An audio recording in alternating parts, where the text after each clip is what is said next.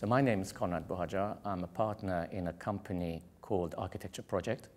We operate from Valletta in Malta. We do a lot of work in uh, historic settings.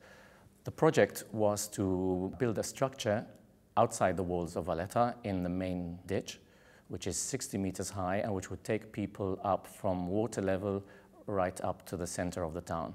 So all throughout the centuries, been, there have been a number of projects to improve accessibility into town. Perhaps one of the most visible ones was a lift, which was built at the turn of the 20th century, at a time when the presence of the British naval base in Valletta became very important and strategic. After the Second World War, the advent of air travel became important. The gateway into the island stopped being the sea, so the lift was practically obsolete.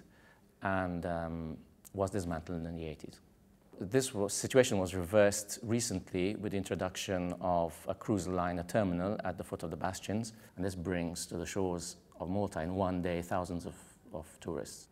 I would say the fact that no structural members which would connect the lift laterally to the fortification walls was one of the most important considerations. This meant that the, the lift had to spring up vertically and had to be designed in such a way that it was structurally sound. The other problem which existed was the fact that Malta is in a sort of semi-seismic zone. There have been certain earthquakes all throughout its history.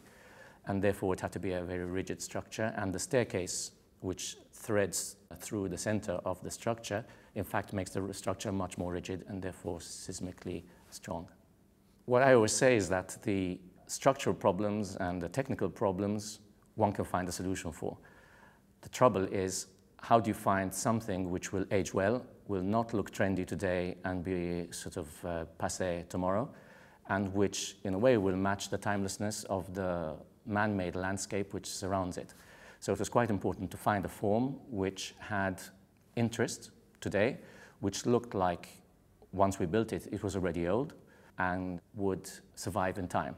Using the mesh helped because the mesh is a shiny contemporary material, it's aluminium, but it immediately acquires a patina because it reacts to the saline environment and since it's very textured, it collects dust. So it, already when it was built, it looked like almost like an old building.